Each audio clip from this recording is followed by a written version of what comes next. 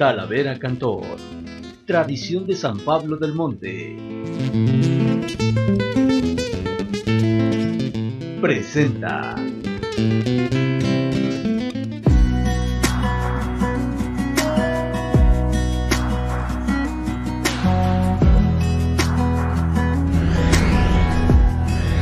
¿Qué tal amigos? Sean ustedes bienvenidos a Los Sabores del Campo en este nuevo concepto de podcast en donde hablamos de temas de interés sobre agricultura, ganadería, ecología, gastronomía, medio ambiente y un sinfín de temas para todos nuestros seguidores. Yo soy Aaron Gaona y los estaré acompañando en este quinto capítulo de Sabores del Campo, en donde estaremos hablando sobre las principales plagas del maíz aquí en el estado de Tlaxcala.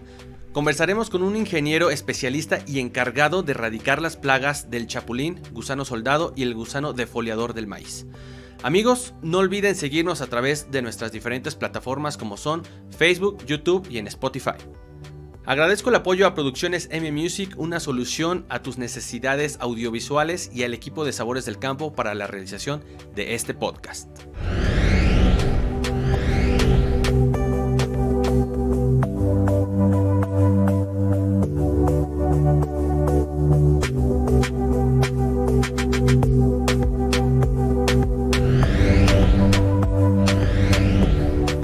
Maíz.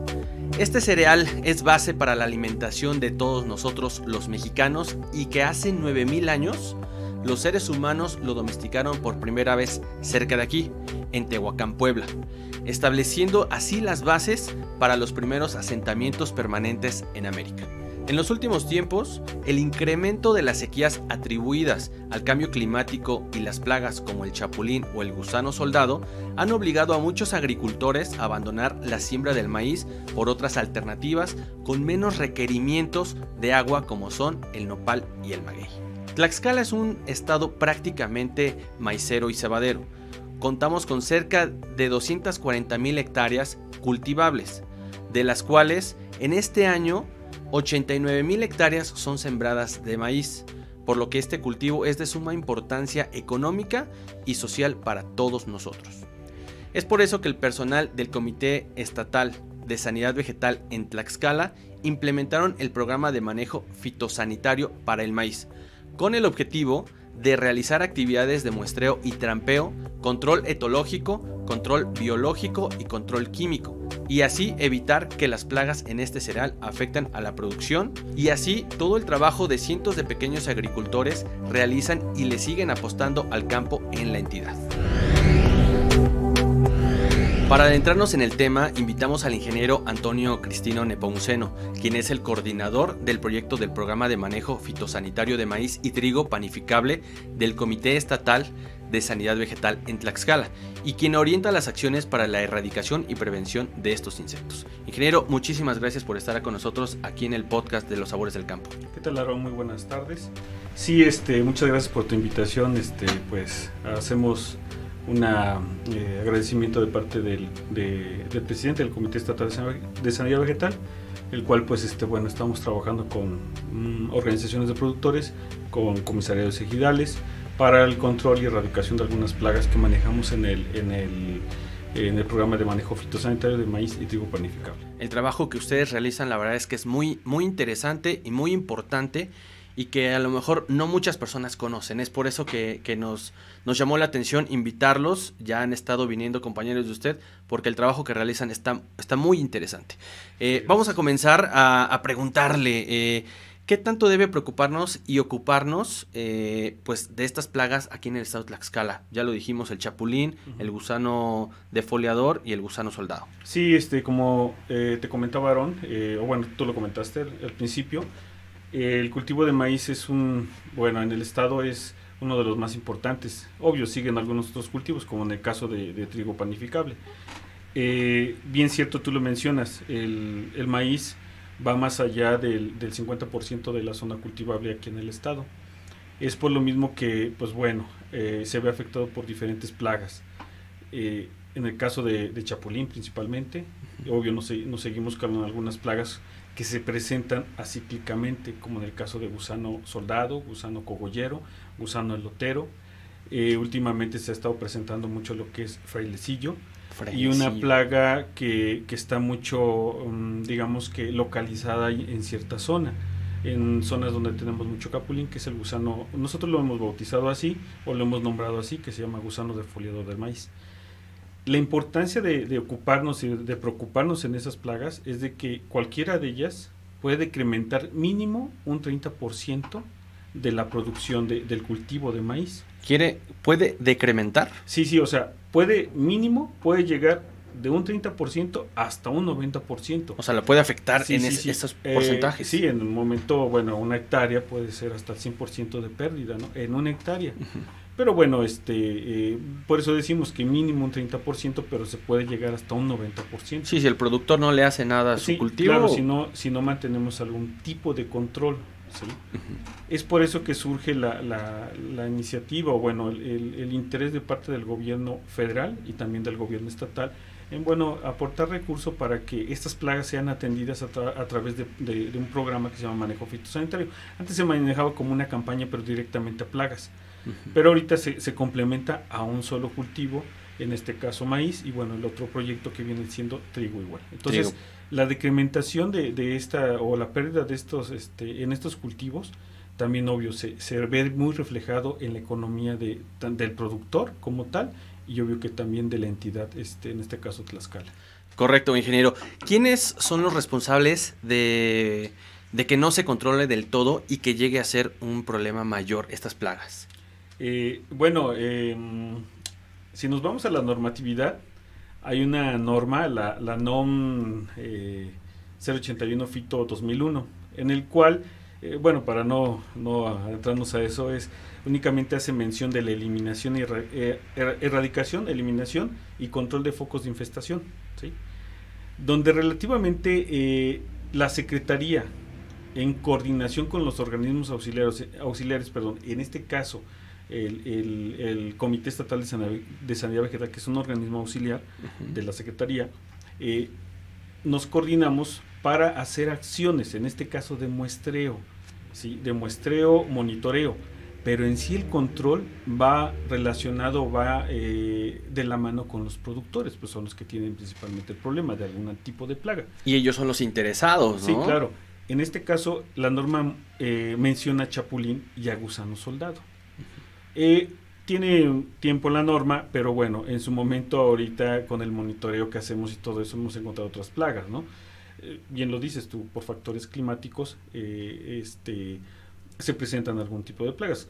Tal el caso como gusano defoliador de maíz, que es el famoso aguate o el azotador que está afectando mucho la zona. Entonces, este, ¿quién es responsable? Pues directamente todos, ¿no? Todos estamos involucrados, pero principalmente los productores, porque son los que eh, aunque tengas recursos, aunque tengas equipo de aplicación y, todo, y la asesoría técnica, pero si los productores no quieren hacer el trabajo de, control, pues no podemos hacer más. Sí, ustedes, principalmente los productores. Ustedes apoyan, auxilian. Sí, claro. Pero el productor es el 100% interesado en que su cultivo no se afecte, ¿no? Porque a final de cuentas es inversión del propio productor. Claro. Y en estas fechas, invertirle en una hectárea de maíz no, ya no es nada barato. Ya la, producción agrícola ha elevado sus, sus costos mucho y bueno, tienen que prevenir que, surjan estas plagas, ¿no? Eh, ingeniero, ¿cuáles son, cuál de las plagas entre el chapulín, el gusano cogollero, eh, el soldado y el soldado es más eh, peligroso para el cultivo? Mira, podemos decir que los tres, sí, pero aquí, digamos, le vamos quitando valor a cada uno, principalmente, por ejemplo, gusano soldado es una plaga cíclica, gusano cogollero igual, también factores climáticos influyen mucho en la presencia o ausencia del insecto como tal. Eh, gusano defoliador pues está localizado en cierta zona nada más, ¿no? Por, podríamos decir por altura, por el tipo de, cultivos que tenemos, en este caso como ataca principalmente capulín, la zona donde tiene capulín es donde, donde tenemos mucho gusano de ese tipo, ¿no? Eh, no nos confundamos con gusano defoliador y gusano descortezador, ese es otro, otro rollo. Son otros. Que ha habido mucho, mucha controversia ahí. Ah, no, este, este afecta primero lo que es el, este, el, capulín, como, Un, como un hospedero primario y después baja lo que es el cultivo. Recuerdo que en algún tiempo los acompañé a, hacer el manejo de, de, pues de esta plaga allá en el municipio de Ixtenco, de Citlaltepec, de Huamantla y es, es increíble como en un, un capulín, un árbol capulín a 100 metros, los, los insectos, los gusanos ya andaban por todo el, por todo el maizal. De eso, bueno, eso está muy localizado, pero yo siento que el más importante viene siendo chapulín. Principalmente porque no solamente te afecta cultivo de maíz, te afecta también trigo, te puede afectar hortalizas, eh, por ejemplo, avena, en la parte sur alfalfa, ¿sí? y eso decrementa mucho la producción y rendimiento de algunos cultivos. ¿no? Claro. Entonces, también vuelvo a lo mismo, se ve reflejado en la economía del, del, este, del productor. Del productor. Hace tiempo existía la campaña contra Chapulín. Entonces, este, sí, este, es una de las plagas muy importantes, ya que es ataca muchos cultivos. Perfecto. Incluso hasta nopales. Correcto. ¿En serio hasta los nopales? Hasta nopal te lo puede afectar. Son, son bravos los chapulines.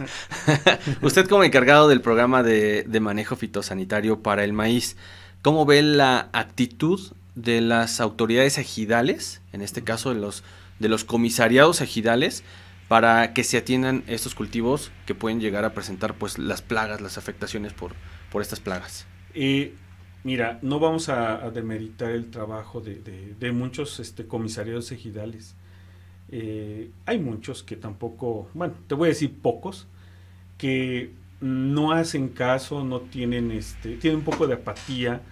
Eh, controlar las plagas organizándose con sus ejidatarios. Eh, des, hay, yo siento que hay factores. Primero, eh, aunque el comisario tenga muchas ganas de, de, controlar la plaga o de participar en el programa, en lo que es manejo fitosanitario, controlando la plaga, pero sus productores no los quieren, no, lo, no los no, no lo, lo, realizan, apoyan, no sí, lo apoyan. No lo apoyan. Esa es una. La otra, el recurso económico. ¿sí? Eh, aunque el comité los apoya con algunos insumos, eh, a veces se ven limitados por el, el, apoyo económico. Es por eso que muchos ejidatarios tienen muchas capacidades los ejidatarios, los comisarios ejidales, la capacidad de, de, de, de, este, de convencer, de, convocar, de convocar, de incluso pararse una presidencia de comunidad municipal y hacer la gestión, uh -huh. ¿sí? Entonces sí logran algo, entonces ahí también se ven involucrados las presidencias municipales y también ahí lo mismo, no este demerito también la, la actividad o bueno el interés de las presidencias municipales para apoyar a sus ejidatarios. ¿sí? Porque Perfecto. tú bien lo sabes, hay muchos este, municipios de, del estado que tienen muchos tienen ejidos con grandes extensiones de tierra. Entonces, pues a ellos les conviene apoyar a sus productores y que también sus ejidatarios hacer, hacer gestión para que sean apoyados por los mismos. Y es que eh, pues todos son, una, son un eslabón de una cadena, ¿no? Tanto el comisario de ejidal, los productores o los ejidatarios, como las presidencias auxiliares, las presidencias de comunidad, uh -huh. las presidencias municipales, y todos deben de apoyar, porque a final de cuentas todos necesitamos el maíz. Si no hubiera maíz en Tlaxcala, la verdad es que se complicaría el tema de alimentario de forma muy importante e incluso en el país, ¿no? Sí, claro, porque te das cuenta que ahora el gobierno federal, su, su, lo, lo primordial, lo más importante son cultivos básicos y ponen muy mucho interés en lo que es maíz, ¿no? Sí, pero bueno, te, te vuelvo a insistir, este eh, Chapulín afecta muchos afecta cultivos muchos. Y, y, ellos se ven rebasados a veces por, por esa plaga, ¿no? Sí, porque claro, puede detonarse rápido. Claro, este, no, sí, este, eh, nos, hemos, nos hemos eh, presentado eh, en lugares donde teníamos controles hace 3, 4 años, pero cambio de, de comisario de Gidal, cambio de administración este, municipal que ya no los apoyaron, lo dejaron y ten, tienen lo mismo que hace dos o tres años cuando controlaban. ¿sí? Ya no, a lo mejor ya no tenían una densidad muy poca, cinco o seis chapulines por metro cuadrado. Ahorita vas y tienen hasta 100, 200 chapulines Ay, por metro cuadrado. Sí. Eh, todo, todo influye. Claro, claro, este, híjole, eh, factores climáticos, economía de los, de los ejidatarios y a lo mejor la apatía un poco de, de, de algunos. Pero llega un momento un comisariado que dice, ¿sabes qué? Ahora sí vamos a controlar recurre a nosotros, nos conoce y adelante, de nuevo le comienza a echar muchas ganas. Y te digo, no, no demerito la, la, la este, el apoyo de los productores son muy buenos. Hasta Correcto. ahorita ha sido mínimo el, el, el, que no quiera, ¿no? Los ejidatarios, sí, los comisariados ejidatarios. Los comisarios ejidatarios junto con sus ejidatarios, pero ha habido muy buena participación e interés de muchos, muchos ejidatarios. Perfecto. Eh, sabemos que el agricultor lo que quiere es eliminar el problema de tajo. Uh -huh. ¿Qué tanto están comprometidos en, utilizar eh, pues o en realizar manejos de control sin que afecten a insectos benéficos como lo son las abejas. Ok. Eh, el comité hace mucho énfasis en el uso de, del producto biológico, un hongo entomopatógeno que te afecta al chapulín. Está diseñado ese, ese hongo entomopatógeno para afectar lo que es directamente chapulín y langosta. Eh, obvio, en, la parte Yucatán, Campeche, tenemos presencia de langosta. Está diseñado para estos dos insectos. Hay otra especie eh, de, o podemos decirle variedad de, de, hongo entomopatógeno, el cual pues afecta a otro tipo de gusanos, por ejemplo, ah, insectos plaga, pero son gusanos, incluso hasta gallina ciega. Pero bueno, les hacemos mucho énfasis de eso. Primero. Segundo, eh, se ha hecho también este, la recomendación técnica de, de, la recolección y procesamiento, así como la comercialización del insecto. ¿Ustedes los apoyan en eso? Eh, sí, la asesoría técnica tenemos vincula, eh, una vinculación con algunos este, organizaciones de agroecologistas, ah, el cual este, nos dicen, hoy sabes qué, si queremos eh, que nos asesoren, nos capaciten a lo, a lo mejor o tal vez en lo que es este la recolección, porque no nada más es ir con una red y, y atraparlos. No, no, no, es este, levantarse a las 2, 3 de la mañana, recolectarlos. Eh, después de eso hay un procesamiento de, de desfleme. Después de eso, eh, cocinarlos, deshidratar, hasta deshidratarlos para que obtenga la, la materia prima, ¿no? Como tal. Eh, el tercer control, que viene siendo el control químico, ya es la última opción. Y casi, casi ellos nos han preguntado, ingeniero, mire, ¿cómo podemos bajar las densidades rápido de, del insecto.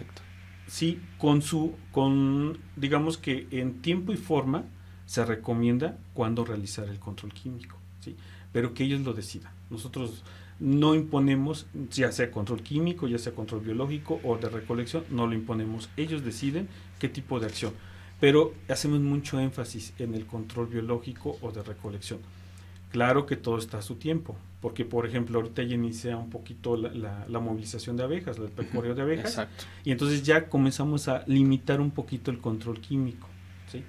Y damos la, eh, mayor énfasis en utilizar algún tipo de control biológico, que en este caso es el que nosotros le estamos recomendando. Ok, ustedes es lo que ustedes le proponen a los, a los productores, pero ¿qué tanto ellos están pues asertivos o con ganas de realizar este tipo de control que no afecte a las abejas? Porque la verdad es que yo he visto y pues creo yo en mi idea eh, prefieren la mayoría. Eh, el control químico y echar químico y vámonos, ¿no? O sea, no nos interesan las abejas, no nos interesan otros insectos. Sí, claro. Eh, mira, mm, así como tú lo has dicho, digamos que sí les interesa, pero que no están muy convencidos. Esa es la parte que todavía no se convencen. Sí, no se convencen. ¿Por qué lo tire? Aplicas el producto químico a los 20, 30 minutos el chapulín está ya muerto, ¿no? Está bajo. Aplicas el producto biológico y por condiciones climáticas, por humedad, por calor, tienen que pasar cierto, cierto tiempo, 10, 15, 20 días para que veas un efecto ya. Pero, híjole, ¿qué tal si se detienen las lluvias? Entonces ya no tienes humedad. Y eso es un factor que digan los productos, no, mira, no sirvió. Y esto es paulatinamente, es año con año. Entonces va a llegar el momento en que, y nos ha pasado, por ejemplo, la, la zona centro de Techolo, este, se ha aplicado muy seguido control biológico y están las, las densidades de chapulín muy bajas, sí, y no tienen problema los productores. O sea, sí hay casos de éxito, por así decirlo. Claro, claro que sí, pero vuelvo a lo mismo, dos o tres años estás con el control de ya sea biológico, químico y de pronto, ¡fum!, ya no quieren participar los productores.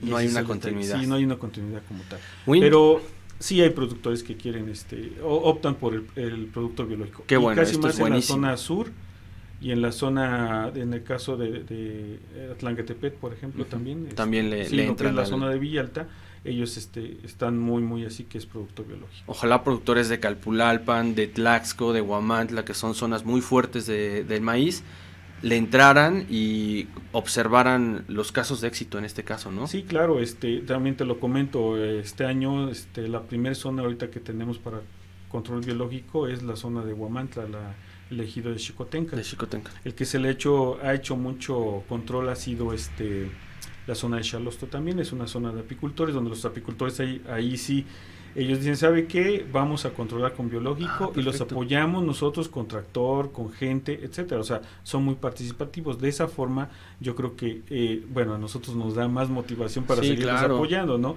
Y no los soltamos. Y, y, y, y dicen, ¿no sabe que esta zona le podemos aplicar producto químico? Adelante. Entonces, respetamos muy bien las zonas de pecuario del- de las De las abejas. Sí, pero eh, en armonía el asunto, ¿no? Ya si ellos quieren puro biológico, adelante, no hay problema. Perfecto. Muy interesante lo que nos comenta nuestro invitado. Es momento de dar espacio a nuestros anunciantes y continuamos.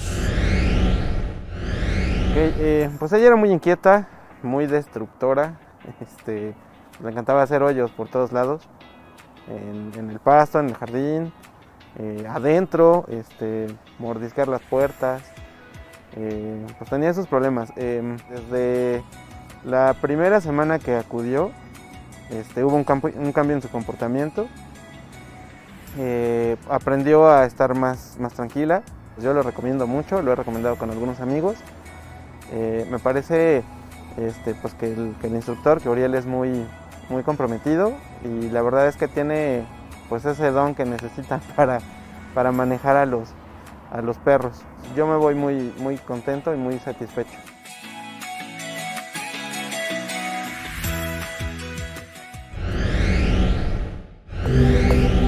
De escuchar esta información, ya estamos de regreso con nuestro invitado, el ingeniero Antonio Cristino Nepomuceno, coordinador en el CESABETLAX para combatir las plagas en el maíz. Seguimos platicando con nuestro invitado aquí en Los Sabores del Campo.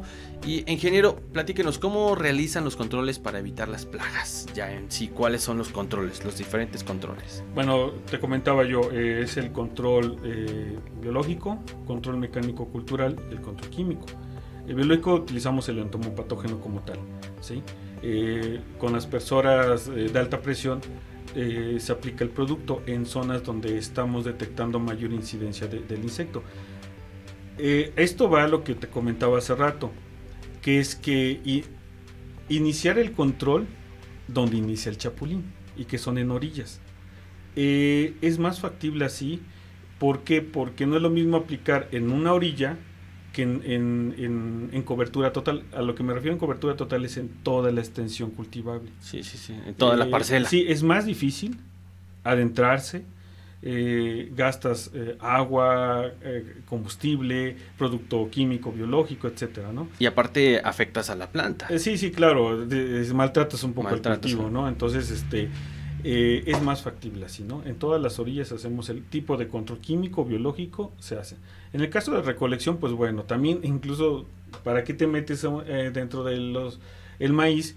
Si vas Dentro a del encontrar poco, surco. ajá, eh, encontrar poco chapulín, mejor en las orillas es donde se... se- Claro, en los bordos ahí es más Ajá, fácil recolectarlos. el, el caso de- del control químico y biológico, te vuelvo a mencionar, es con aspersoras de alta presión. ¿sí? Y bueno, se recomienda que hay una cierta, este, em, digamos que, recomendación en el uso y manejo de agroquímicos.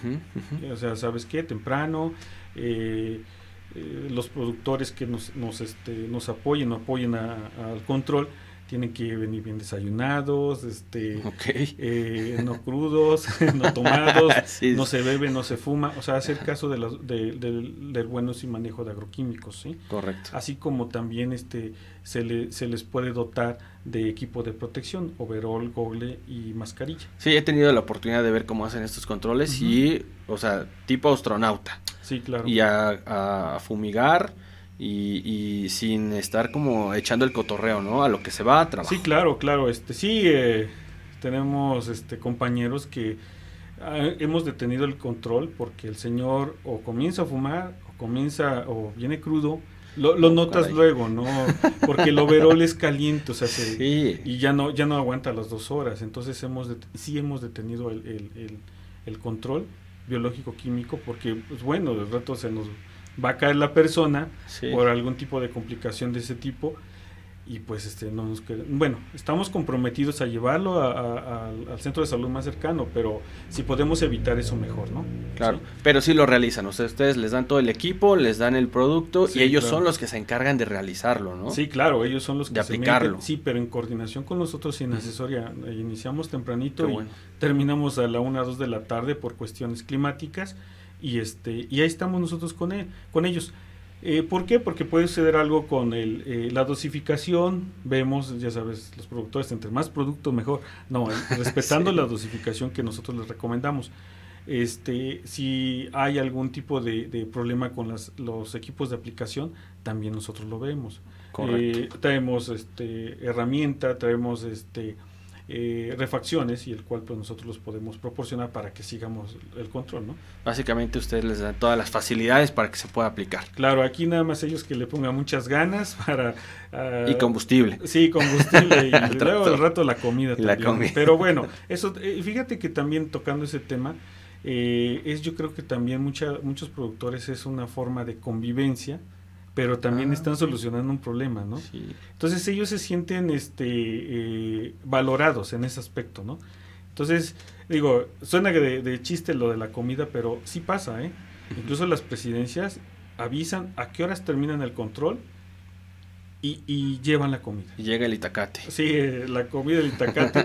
y, y, los productores se sienten muy bien, digo, se sienten parte de, ¿no? Qué Entonces, bueno, eso es muy buena, unas muy buenas experiencias allá. Oiga, y en su experiencia, eh, pues, eh, los, por su parte, los productores se interesan, ellos son los primeros en, en pedir asesoría o tiene que venir, en este caso, el comité, ustedes, para comentarles qué es lo que se tiene que hacer, porque ya se encuentra pues como eh, los niveles de infestación de, estos insectos ya en niveles elevados. Bueno, de antemano por historial nosotros ya tenemos ubicadas todas las zonas. Nosotros tenemos una, una plataforma el cual eh, todas las zonas, no, si te digo todos los ejidos es mentira, pero por lo menos el 90-80% de los ejidos los tenemos ya geoposicionados. ¿sí? Eh, para esto, pues obvio, nosotros por metas, porque hacemos nuestro programa, eh, tenemos ya programado eh, a dónde vamos a ir. Primero en estado de otecas, o sea, lo que son huevecillos.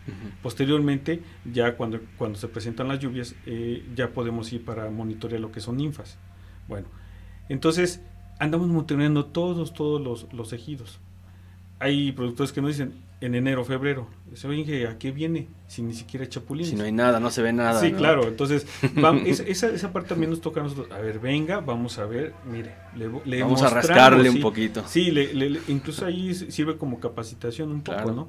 De que les mostremos el, este, la etapa biológica de ese insecto, en este caso huevecillo. Y mucha gente lo conoce, ¿no? Incluso en las pláticas la gente se jacta de saber cómo es el huevecillo, ¿no? Ah, muy bien. Y está muy bien eso, ¿no? Eso nos, nos, da, nos da saber que sí están aprendiendo más, ¿no? Eh, posteriormente, este, pues nosotros ya si en un momento se nos olvidó algún ejido o, un ejido que nunca sabemos que no, no, va a participar, pero de pronto alguien, oye, ¿sabes que tengo problemas de chapulín? Perfecto, visítanos o, o coordínanos con una, una plática con tu con tu comisario ejidal y con tus ejidatarios. O un grupo de productores, no necesariamente que sea ejidatarios. Sí, claro.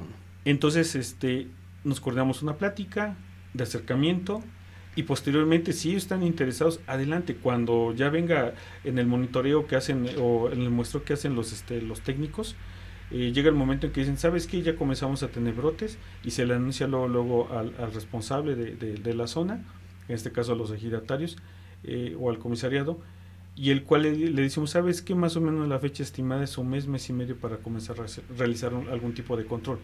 Organízate con tus, con tus este, ejidatarios. Se les pone, así como ahorita te dije, que te, que te toca a ti o a los ejidatarios, que, que le toca al comité.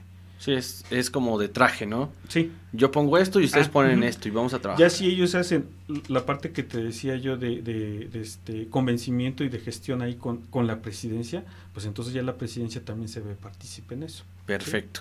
Eh, ingeniero, desde su perspectiva, ¿qué acciones se deben de llevar a cabo para planificar las siembras y que no se vean afectadas por esta plaga? ¿Qué, qué necesitan hacer los, los productores, los pequeños productores, los grandes productores, para evitar que en sus, en sus cultivos eh, pues se les llegue a afectar por esta plaga del chapulín y de, los, de estos gusanos que ya hablamos? Mira, eh, pues de entrada, híjole, es muy difícil porque en este caso algunas plagas te afectan ya cuando está la planta eh, en desarrollo vegetativo, ¿no? algún establecimiento de siembra o reubicación de siembra yo creo que es muy difícil. ¿Por qué? Porque si tú sabes que el siguiente año va a llover en julio o, en, vamos en, en, abril o en mayo, pues adelante, tienes establecimiento de, fechas de siembra. Aunque las tienen IFAP, híjole, no son muy, ya ahorita. En la actualidad ya no. Ya no. Entonces, este, la plaga la tenemos. Caso Chapulín. Caso este, Gusano, Cogollero y Soldado, es muy difícil también porque lo mismo te, te, digo, ¿no? Es acíclico y se va con los factores climáticos. Correcto. Por ejemplo, el año pasado hubo un poco de seca eh, se presentó mucho frailecillo. Este año hay mucha humedad. Sí se presentó, pero de pronto desapareció. Por la humedad. Sí. No se desarrolla. Sí, sí, claro. Entonces cumple su ciclo y se... No es que desaparezca, sino que la incidencia como tal es... Disminuye y ya no es de importancia. Ya sí, porque eh, te comento, si la planta está estresada por una, una, una seca, el, el, ataca. Y pues por eso que que en el campo ves mucha incidencia de frailecillo. Pero si se presenta humedad, incluso hasta la, la, misma planta no le afecta tanto, ¿sí? Porque hay humedad, está sana la planta y tiene un buen desarrollo. Y la, el insecto no le hace, no le, hace mucho, ¿no? Pero en este caso, híjole, si te puedo decir, pues únicamente nosotros seguir programándonos para que en su momento sean atendidos los productores y con, su, con un momento oportuno se ataque bien a estas plagas. Perfecto. Pues agradecemos la participación y los comentarios de nuestro invitado en este quinto podcast de Los Sabores del Campo, al ingeniero Antonio Cristino Nepomuceno del Comité Estatal de Sanidad Vegetal en Tlaxcala. Muchísimas gracias, Inge. No, gracias a ti, Aaron. Muchas gracias por la invitación. Al contrario, muchas gracias. Amigos, no todos los insectos son malos. Lo que sí es malo es la gran cantidad de ellos que pueden afectar los cultivos, ya sea maíz, trigo o cebada, por nombrar algunos. Es importante buscar la manera de producir más sin afectar al medio ambiente. Yo me despido con esta frase que dice, el agricultor no solo debe pedir al cielo un radiante sol o una fecundante lluvia, de vez en cuando una que otra tempestad para que aleje las plagas que perjudican su siembra.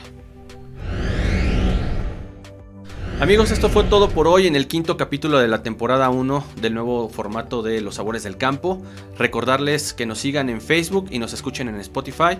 Píquenle a la campanita y suscríbanse en YouTube. No olviden dejarnos sus comentarios en nuestras redes sociales. Muchísimas gracias.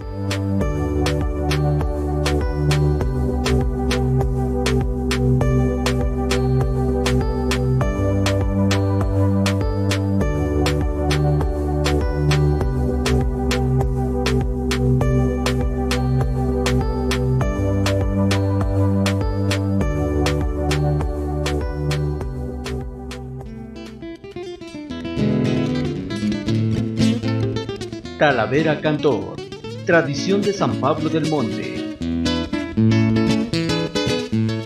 Presentó.